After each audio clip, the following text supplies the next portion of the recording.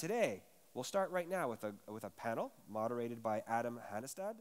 Adam works as a journalist for the Danish uh, daily Politiken. He was a financial reporter at Reuters and Bloomberg before until he joined Politiken and began covering international affairs, including covering the Arctic. He is passionately interested in new technologies and argues disruption is a real word. We'll now find out whether or not disruption is also an Arctic word. Ladies and gentlemen, Adam Hannestad. Thank you, Otto. Thank you. Good morning, everyone. Great to see you all. Uh, and thank you very much, Otto, for that introduction. Uh, yes, I do. I am passionate about technology, but I am equally passionate about the Arctic. And I think we've got a crack panel here today. We've got a really, really tight schedule. I've been uh, bullied into telling you that we will be stopping in about 40 minutes max. And in that time, we have five people, all of them extremely knowledgeable in their fields, who want to talk to you about their, experience and their, their experiences, their visions. So we'll be keeping it tight. Please do remember, of those five people, only one of them is a native English speaker. So if there is a little bit of language problems, please bear over with all of us, including myself. Uh, we are here basically to have a good time, and really I urge to, you to enjoy this panel. And with this, I'd like to welcome the panel, the panelists, please.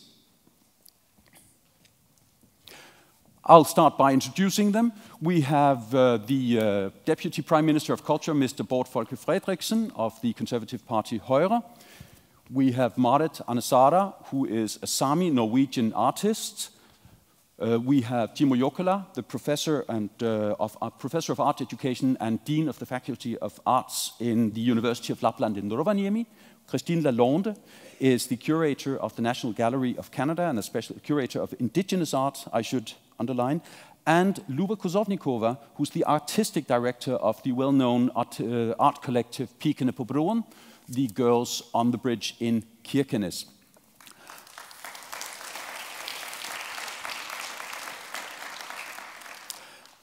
And I'd like to kick off with just a short question to each of you with fairly short answers because otherwise the time is going to go a lot faster than we really wanted to.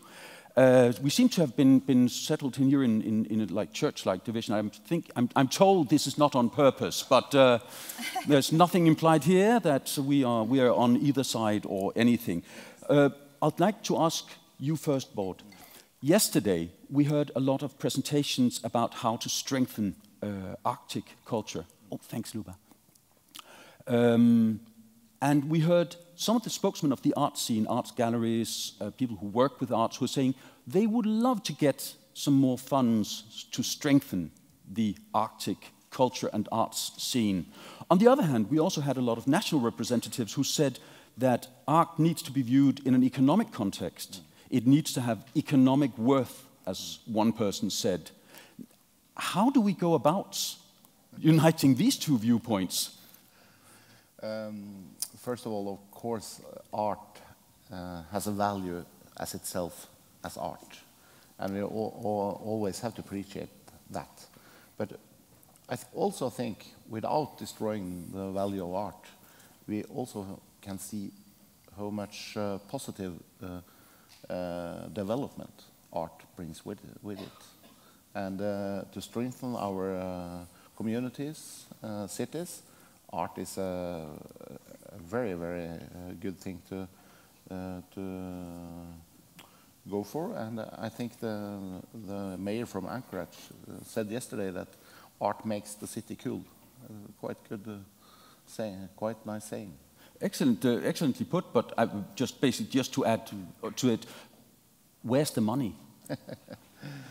Uh, we have to cooperate with uh, that too. Of course, uh, the national uh, governments can fund uh, something, and uh, local business partners can probably fund something too.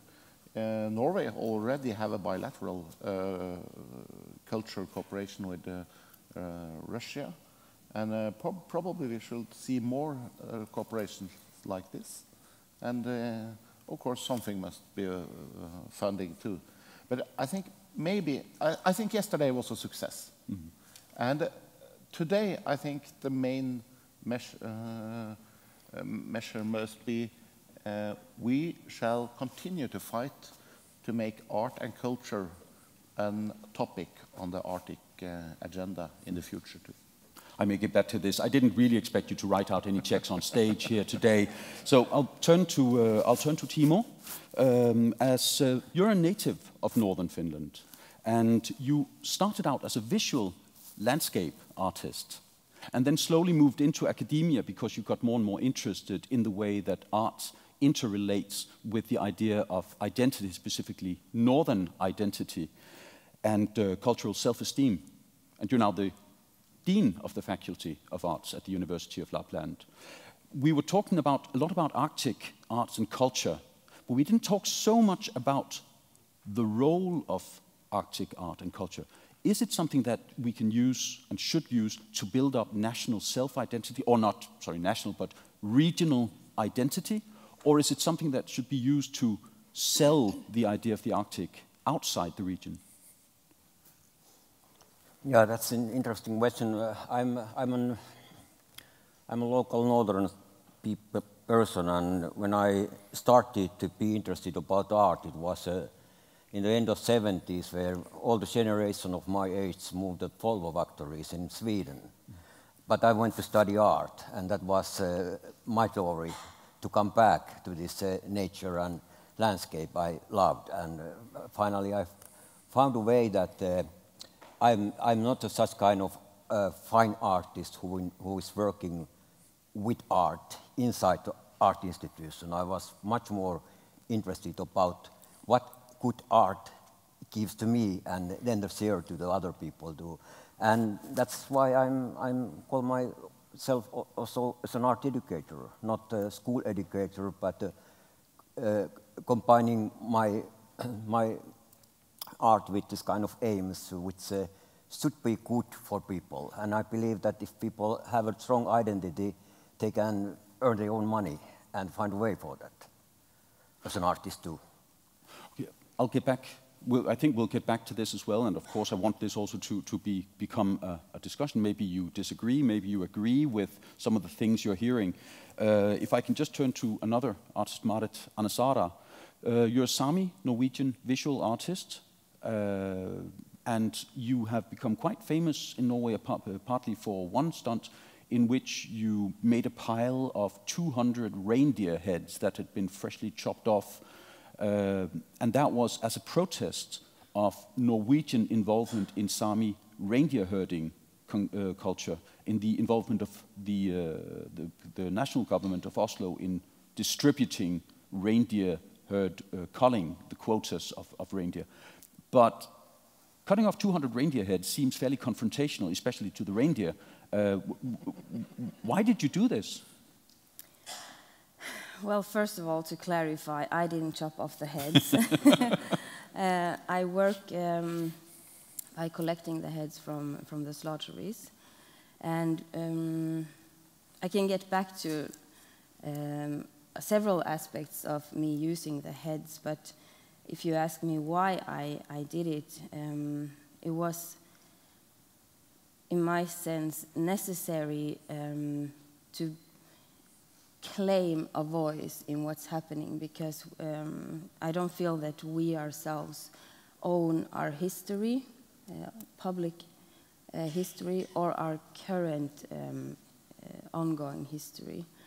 Um, so Pile o' Sápmi, he needed that dramatic, hard voice just to cut through.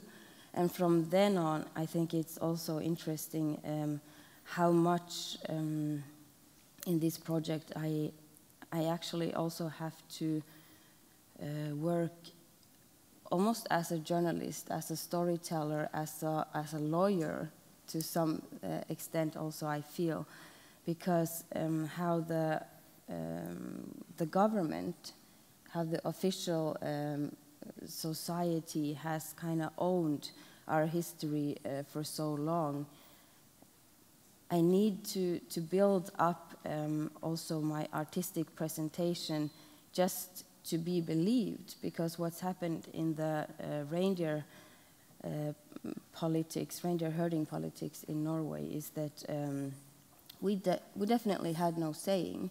It's been defined uh, from um, the political power in the south, what is the reality, and uh, what is kind of our.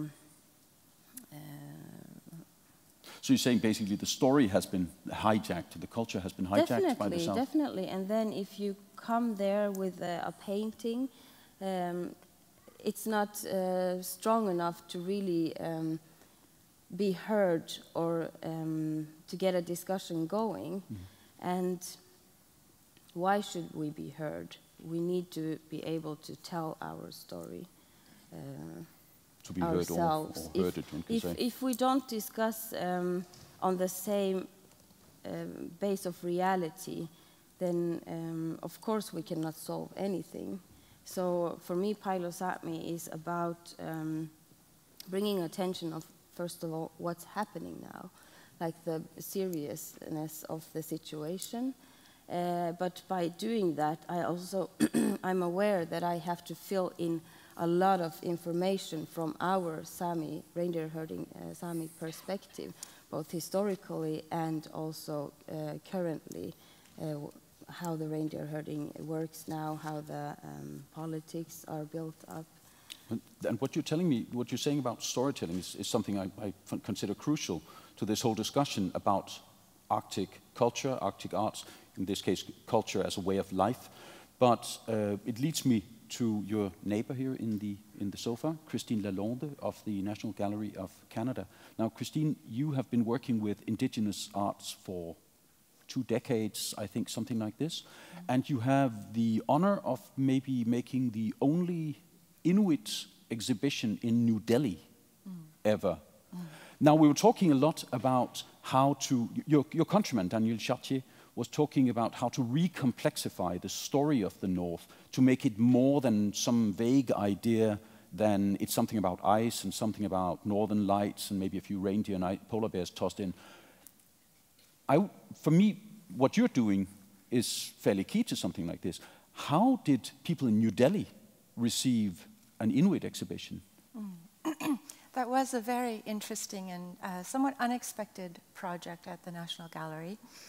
Um, I should say that um, knowing that it was going to uh, a new audience, um, it was an opportunity to tell the story and the history of Inuit art um, and social history as well, um, as we know it now, not with the hindsight of um, 50, 60 years. Um, just um, so that, in fact, the essay I wrote for that, which was an introduction for a new audience, was called True North. And for the first time, it wasn't a whitewashed version of that history. It very much laid out that as the art form was developing and being encouraged, uh, Inuit were essentially going through a process of internal colonization in Canada. So that was a very interesting project, so that the audience in India actually was uh, perhaps uh, received a more current um, update um, version of the history than actual Canadians. Um, this was the first time the National Gallery had actually showcased its own collection. There was a catalog, um, but it was only available in India. Yeah. so that's still not the case. Um, but in terms of the general public that I encountered when I was there, um, the response was interesting because um, we're, we're really talking about two extremes in terms of environment and society. Um, yet people there found a commonality in many ways, in fact, in the values of the society. So, for example, um, the people um, who came to see it, and actually even the people who helped install it, were fascinated by this idea of intergenerational um, family yeah. life uh, which is still very much the case both in the north and in India, and the importance of hospitality, of food, of sharing. Um, and then also the idea that um, spirituality and mythology are not something that is separate from everyday life, and that the beliefs that existed millennia ago, centuries ago, are um, still very active today. Um, but the one thing about this exhibition, which went abroad, is that um, it was hardly the first time that uh, Inuit art has been the face that Canada has put forward. Um, mm. This was part of the Commonwealth Games celebrations in New Delhi. This is, in fact, um, the idea of Inuit art as part of our national identity has been going on since it first uh, arrived in the form we know it of sculpture, prints, textiles um, in the 1950s. Um, as I mentioned, the, it's somewhat ironic that as the Canadian government was essentially forcing Inuit to leave their camp life to move to communities where they now were part of a cash economy they saw the arts as part of a way that they could um, survive in that economy. Um, at the same time, they were essentially um, interfering and repressing their own way of life. They were celebrating this art form. They were very proud in the correspondence that I've read of the time. They were very proud of their role in creating this art form. Yeah. And so from the 1950s onward, it has been part of our national identity. Inuit art has never been marginalized in Canada.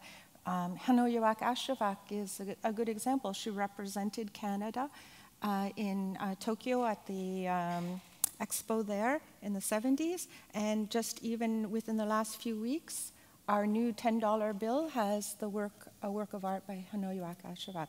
But the artists have always been marginalized. They have always been left out of the conversation. And the last point I, I just want to make is that um, in terms of the where we are now and in terms of the Arctic Arts Summit, Inuit art has had a role in representing Canada. It's had a promotional role. It's time for a shift. It's very much time for a shift where Inuit art and art in the North has to be for the North. It has to be what means the most to the people who make it and in the communities. Um, it has to deal with the things that are really affecting Inuit today, both the celebration of strong family lives, strong language, but also the trauma. Um, the highest suicide rate in Canada is in Nunavut. And that has to be addressed before anything in terms of the arts, culture, society, economics, everything. I think you're putting your finger on something very central here, and we'll be going back to this about art being for the North instead of just of the North mm -hmm. uh, later on. But I just want also to uh, get to Luba Kuzovnikova, who, has, uh, who is born Russian but has lived so long in Scandinavia that, uh, that she practically speaks it like, like the language like a native, uh, including a little bit of time in my home country of Denmark. Ah, okay, yes. but on a, you're here as the artistic director of uh, Pikene på Broen, but at the danger of making this a political discussion or, or, or global political discussion, which I really don't want. We're, meeting here at a time when NATO and Russian planes are buzzing each other over the Baltic and the tone is extremely tense among world leaders. And you are sitting there just 10 kilometers from the Russian border, 50 kilometers for the Finnish border, and you specialize partly in uh, cross-country cultural cooperation. And this is one of the things we're talking about. Uh, Arctic culture and Arctic cooperation cross, across the, the whole polar region. Yeah. Uh, let me tell you, what, what do you need to make more of that and what can it be used for? Art is a bridge, and who can do better than Pikene på Broen, Girls on the Bridge? Art is a channel for communication. Art is a meeting place. Art is the foundation without which policymakers, politicians, or economists cannot do without or cannot go further. And especially, as you say, in the times of uh, crisis and the time, not crisis, but in the time of oh, it's pretty close, political yeah. tension, uh, mm. tensions, uh, art is, becomes sort of a safe ground, a safe foundation. When the politicians in Oslo and Moscow cannot talk to each other because they're on the other camps, uh, um, in, in, the opposite uh, camps, then leave it to us. So we, artists, uh, art producers, and people, first of all, who live on uh, the both sides of the same border. We can handle it uh, during these times. Uh, and um, so, so art in these periods of tensions can become a door opener, you know, for communication. It, it can also become icebreaker. Um, and especially, you know, up there with Russia, it can become also a nuclear icebreaker. So well, with this, uh, the, the word is pretty free. Just if I could just start it off, uh, Bård, you're, you're sitting in the national government. Uh, is she right? Is uh, cultural cooperation a, a, an icebreaker? Yes, I think so. Uh, and it will always, always be necessary to have channels to communicate. And the nice thing about culture in, in that uh, way is that arts and culture has always been uh, borderless, more or less. Mm -hmm. uh, you have seen this for century after century that uh, the culture uh, and the artists are moving around, getting uh, inspiration from all over. the Norwegian, the, the, most famous acts written by uh, Ibsen is, uh, is written in it Italy and, uh, and Germany. and uh, Edvard Munch's uh, paintings was uh, inspired by what he, he learned in Germany. So I think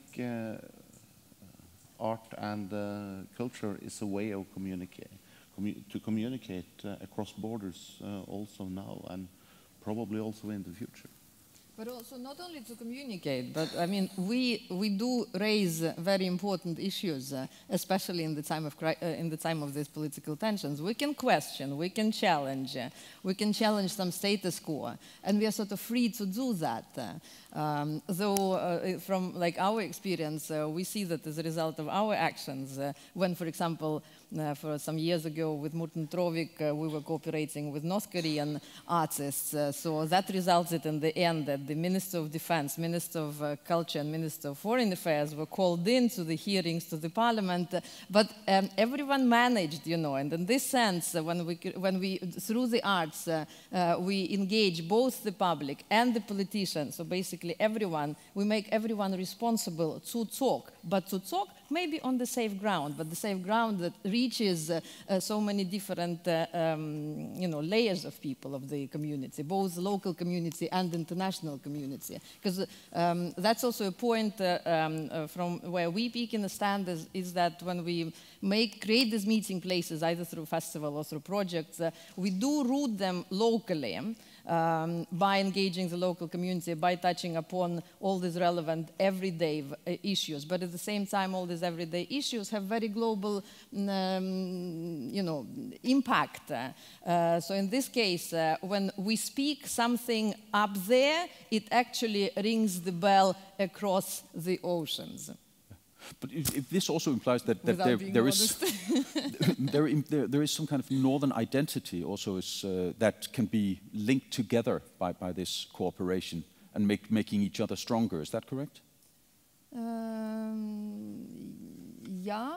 I mean, the northern identity, well, we have been talking um, um, for the last uh, almost 20 years uh, about the Barents identity, and uh, I think have been successfully building uh, this Barents identity as the one which is, for example, different from, um, you know, North uh, Finnish or North uh, Swedish or North Norwegian or Northwest mm. Russian. Um,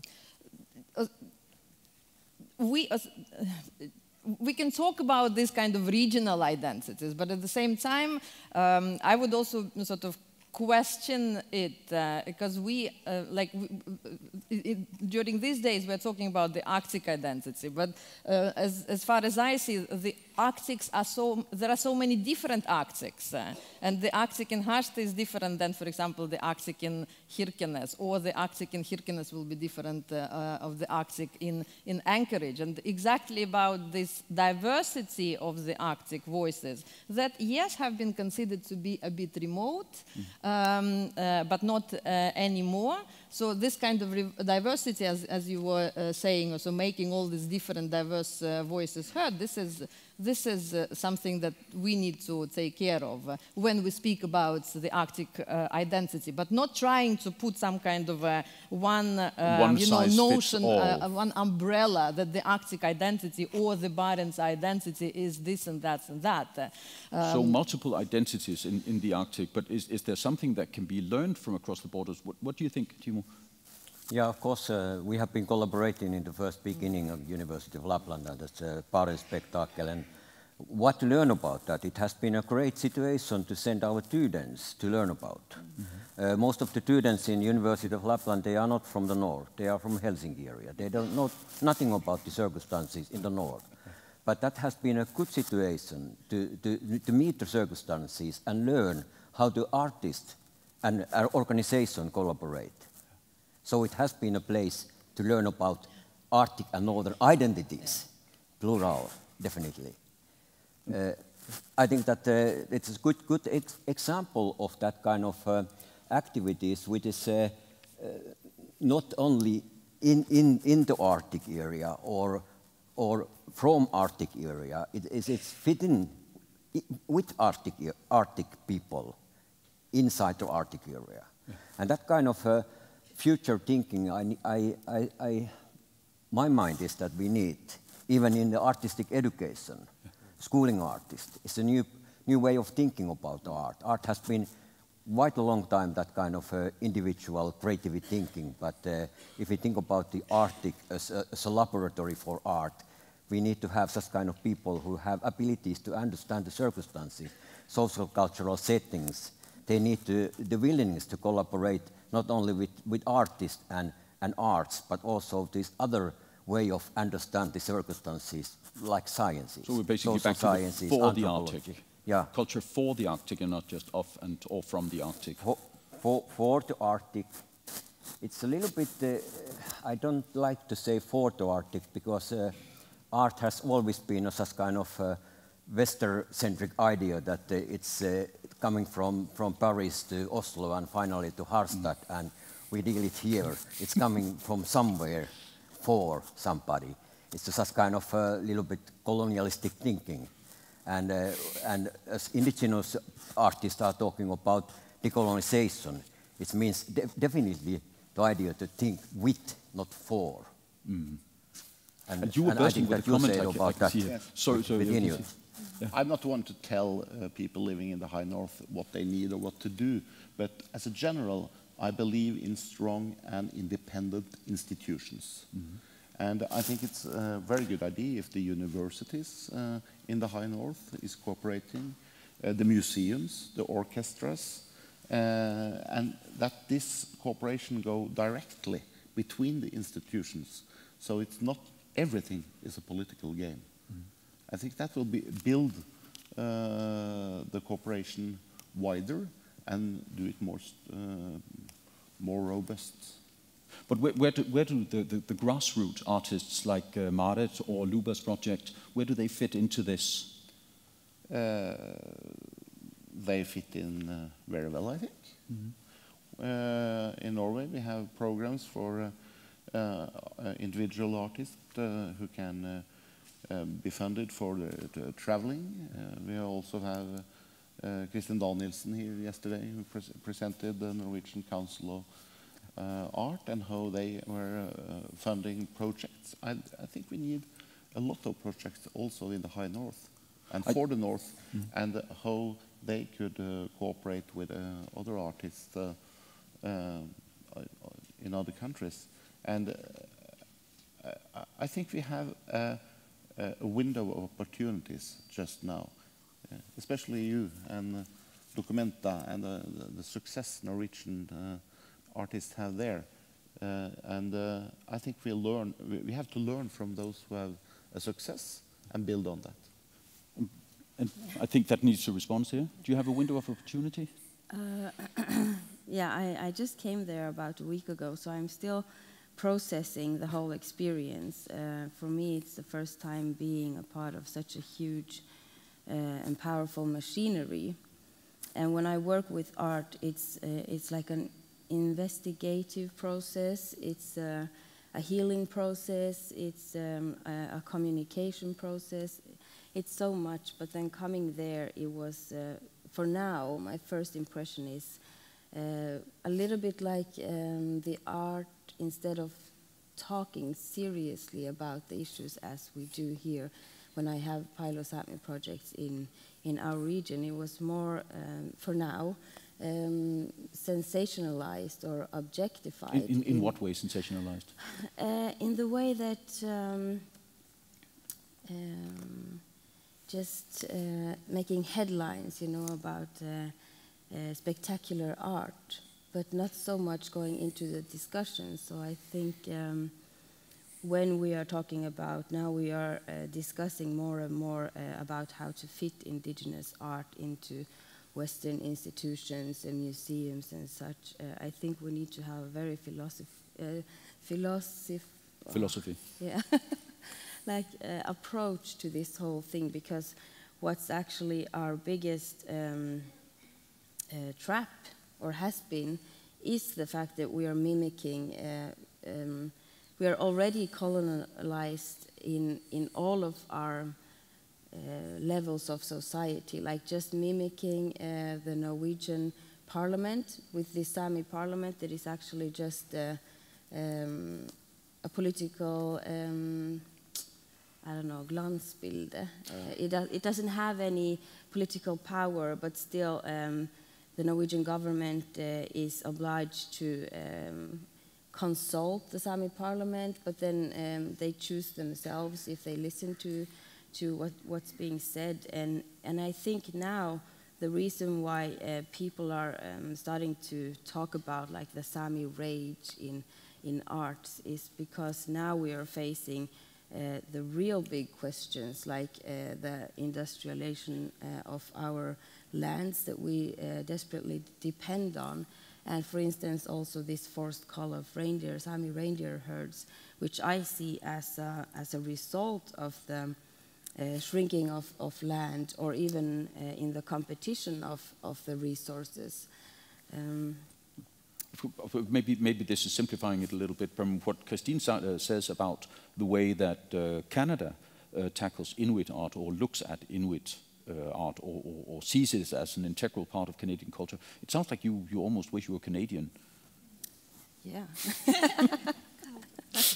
okay, thank you. The Canadians wish that, uh, that they were, that the Inuits were like the Sami artists. no, it, I think it's... There, there's a lot of cross-fertilization that could happen there between Sami and Inuit artists. Mm -hmm. And definitely Pile o' Sápmi uh, is a reference to uh, a Canadian um, colonial history and North American colonial history. It's uh, very uh, crucial that we have a dialogue uh, about our um, stories and uh, our current situations. Definitely. This is not about one country, but at least it, it sounds to me like uh, Bård Folke Fredriksen has changed his political standpoint a little bit because when he was cultural mayor of Oslo uh, 17 years ago, he uh, was part of slashing the cultural budget, especially for the independent grassroots artists. I, I don't know if you recall that. No? you cut the budget by 3%, and uh, when you explained why, you said it was more important to give the money to schools, and at least you were able to present the, uh, prevent the, the budgets of the major institutions of being slashed. Uh, it was probably wise at that time. How about now? Uh, this was uh, 20 years ago, I think. Uh, and of course, a budget is something that shall balance every year. So uh, what, what the priorities are uh, in 1999 and today uh, can depend on what economic situation we are in. I don't remember that. I'll, I'll, I'll, show you the quote in, in Aftenposten. But yeah, Luba? I, I, need to react to one of the comments that was said yeah. before. So you, you said that like now use the window of opportunity, but this window of opportunity has always been existing here. It's not like happening something very specific now. Sorry, I have to say because um, um, the art and critical thinking through the art uh, and across the borders have has existed like for 20, 25 years at least. Uh, also up here uh, up here in the north. And it happened not because someone from, you know, from Oslo tried to fit us artists or northern uh, institutions into the cultural policy created somewhere uh, in the capital. is because uh, so we people living in the north uh, and urging for this kind of uh, artistic critical reflection, for us it is existential. It's not something, as far as I see, it's not something that, you know, we, for example, want to philosophize with, uh, uh, with someone from outside, but we do want that. But for us, it's first of all existential. So all these bottom-up um, uh, initiatives that are starting, uh, so that's, it, it, it's all up to us. It's up to you that you started, uh, you know, growing in Kautokeino. It's all up to us Pikene på broen when we saw this window of opportunities in the end of 90s when the border with Russia got more transparent and more accessible. So um, I think this window of opportunities exists all the time and it's up to us, to the uh, actors and agents, um, um, wherever we are, whether in the Russian Arctic or in the Norwegian Arctic, to grasp this opportunity. But it's always there, it's not only now. Marit Marken, but I'd just like to hear, if I can just ask Christine first, uh, this there, is a, there is a sense of urgency in what uh, Luba is saying that uh, not necessarily a window of opportunity just now, but an, a, continuing necessity of, of catching the possibilities to promote uh, to promote the identity of, of the North. Do, do you feel the same? Do you feel know, something like there this? There is a sense of urgency, but there has always been a sense of urgency. Um, they have been saying Inuit art is dead since the 1960s and it's still alive.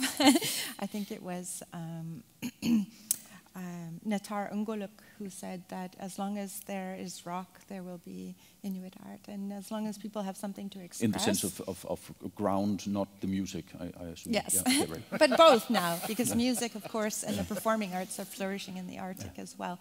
But uh, it, there is an urgency because, um, you know, one analogy that comes to mind often about Inuit art today is that it, it it's like a, a large tree, and it's flourishing in the south, but the roots, there are, um, at the grassroots level, there is a problem. There are no heritage centers in every community. There's no place to see Inuit art in most communities. Um, the, there's no um, art schools. There's a very good system that Inuit um, learn by, which is essentially uh, a family apprentice system that has been going on for generations and generations. But there's no support or recognition of that. Um, artists have problems um, accessing even tools and materials. Hmm. Um, they're really um, reliant on a system that is um, both on the one side funding and on the other side market. Um, and even being in a position to determine, I want to make a piece, can I get the tools and materials, and can I say what I want to say? Will the market like it? Is a, a, a dilemma for most artists in the North today. So there's an urgency to fix that problem. There are fewer artists in the North nowadays um, because of that. It's a difficult choice to be an artist, whereas in generations past, uh, whole families uh, would be working together. So a bit of a paradox. There's never been more interest globally in the Arctic, but it's hard to be an artist. Mm-hmm. Marit, you were? Yeah, now I Oh, so, I'm so sorry. But, there was something yeah. uh, from the previous, and now I'm thinking something totally different. So, yeah. sorry about that, Marit. Maybe yeah. I'll just one other. Um, I mean, mine is only one perspective, um, mm. but these are just things that I, I have observed in the times that I've been going up north and things that have changed. But um, with the creation, uh, there are four northern regions in Canada. Um, um, but specifically about Nunavut, um, you know, the Inuit have achieved a great deal of self-determination in terms of their um, government and the way their communities are organized. Um, but I think that's what's needed in the arts is a self-determination of, of how they um, create and how they um, relay that to the world. We are getting close to the, the end of the discussion here. It was, it's been much too brief, and I didn't expect it to give any answers. But uh, you who are sitting here are among some of the most whether you know it or not, you're some of the most powerful players in a way in, in Arctic culture. You have tremendous uh, possibility here to, to affect the, uh, this first Arctic Art Summit, in, uh, and I hope you'll have some wonderful breakaway sessions in just a moment. I just want to hear if there are any closing remarks from any of our panelists on some, some of the things that have been said here. It's, this is meant as some basis for you to discuss in at the different, uh, different panels. I think, are all of you parts of, of panels? I forget, uh, I think you, you are.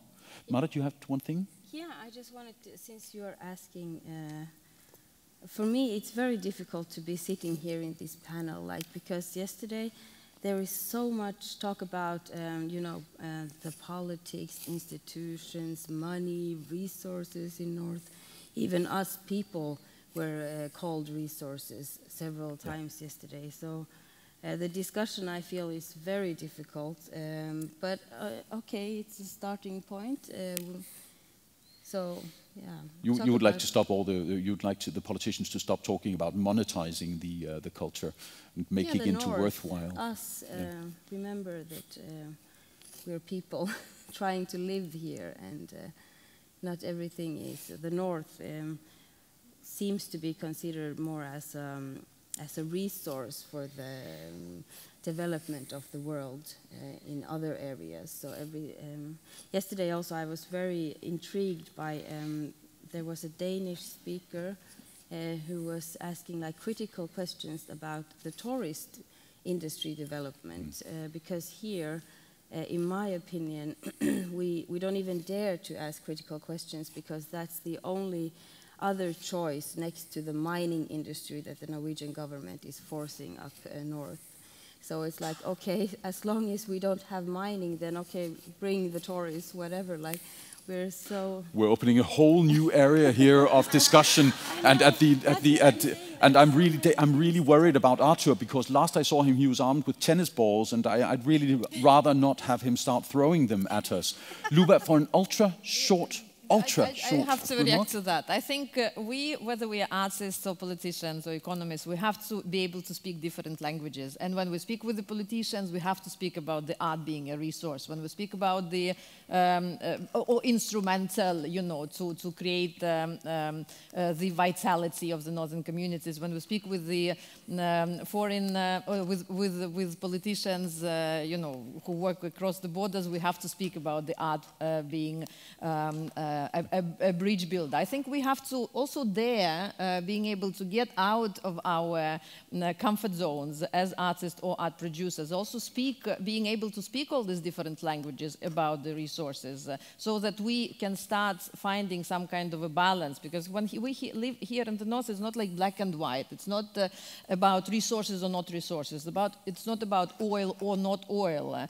Um, uh, we, we all want nickel uh, because we do want to use our iPhones. Uh, so it's not about closing down the nickel uh, smelter completely. So we, we are we, I think we should be aware of these trade-offs that we have to take uh, politicians have to take these trade-offs, economists have to take these trade-offs, and we artists and artistic communities There's also have to be at least here saying that not, not all, not all uh, grassroots artists are, uh, are wanting money all the time here. Timo, just very, and I really will have to ask yeah, you to yes, be very yeah, short. continue to Luba's idea about that uh, discussion, but not only with the politi policy maker, but uh, what I think that artists and artists should learn to discuss with other sector of society like uh, those who are building our environment. We have this kind of aesthetic knowledge and quality understanding, but we don't have language. And that's a big issue in, I think, in our university education system to renovate this art, art school, schooling artists in a way that they are able to communicate with language that other people understand. I mean, and, and that's not, uh, not, not nothing against the language of art. But on, that, on that note, we are going to have to stop because I have promised to make sure. I'm so sorry about it. Uh, on that note, we're going to have to stop. Uh, I would like to, before I say thank you to our panelists, just to tell you that the, common, the, the, coming breakaway sessions are at the university building next door, so you will have to leave this room, go out in an orderly fashion and go to the, the uh, neighboring building. You will pass a band, and, uh, and, and it's not really there for you. You can pretend it is. It's because they're inaugurating a new pier. So I, I hear there might be music. If you would like to think it's for you, then give a casual wave as you go by. But otherwise, please continue to the auditorium. I would like to say thank you very much on, for a much too short discussion to Luba, to Christine, to Marit, to Bård, and to Timo. Thank you very much, and have a great day.